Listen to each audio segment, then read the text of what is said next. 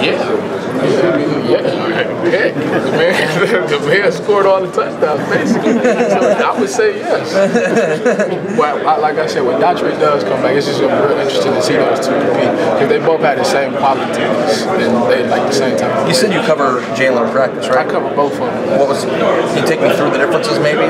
Uh, Dontre's just a little bit more fast. I would say that Jalin's hands is a little bit more. So, yeah, that's basically what it is. Talk about run defense and just how important that's going to be for you guys going forward, and particularly if you play Wisconsin down the line, in Michigan. Just what do you guys got to do to get that back where it needs to be? We got to stop misfit gaps and stuff. And everybody have to trust and do their job.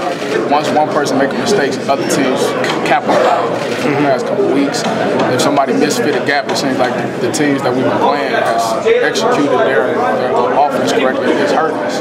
So basically, what we have to do is just walk, go back to the fundamentals and walk through it and get everything situated so it don't happen again. Mm-hmm. Just talk about Michigan Michigan week, what this will be like uh, preparing for this game, and knowing you're already going to Indianapolis and you don't want to go there 10 and 2, you want to go there 11 and 1.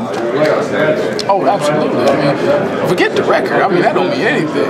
This is the rivalry game. Record when like like last year, records don't mean anything. Mm-hmm. They gonna come give us their best shot. I mean, they definitely like the whole season is kind of based on this last game. Really, mm-hmm. that's a, that's how you basically talk about the season. If you won or lost, the team on the So we definitely gonna give it everything we got, and I know they're gonna give it everything they got because I mean that's what they always do. Mm-hmm. Thomas, those of us who covered the team knew about knew who you were last year, but you kind of became a household name for Buckeye fans after that interception on the two point conversion.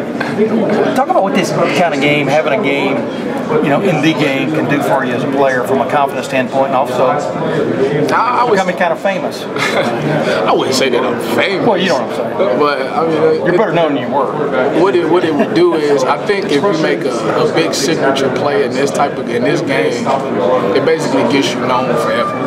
Like, everybody will always remember you for what you did in that game. No matter how your season may have been, depending on how you did in that game, is what people really care about because nobody wants to lose the rivalry game. So it's always something that I'm going to definitely take with me for the rest of my life. It was definitely, if not the best moment, probably the second best. The first best was probably me committing here. Like the second best moment was me making that play.